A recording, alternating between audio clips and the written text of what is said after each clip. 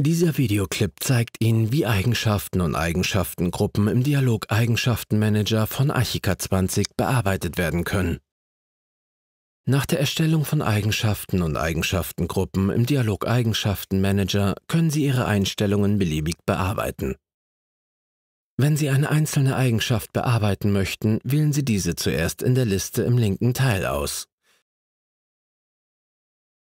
Klicken Sie ganz einfach in eines der Felder auf der rechten Seite und verändern Sie Ihre Werte je nach Bedarf.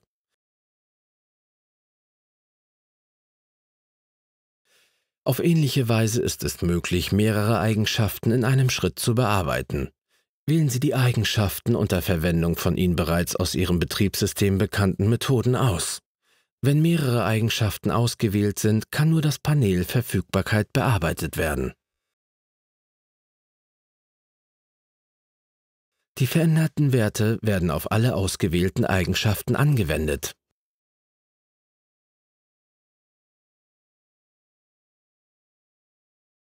Um eine einzelne Eigenschaftengruppe zu bearbeiten, wählen Sie die Titelzeile der Eigenschaftengruppe aus.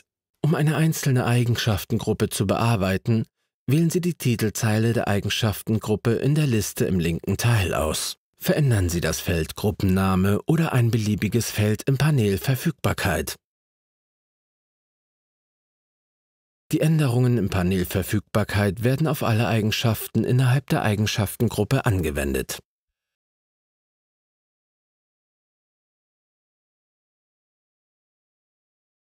Auf ähnliche Weise ist es möglich, mehrere Eigenschaftengruppen in einem Schritt zu bearbeiten.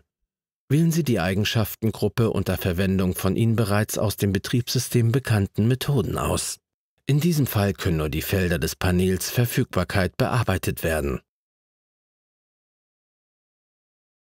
Verändern Sie die Felder wie gewünscht und die Änderungen werden auf alle Eigenschaften innerhalb der ausgewählten Eigenschaftengruppe angewendet.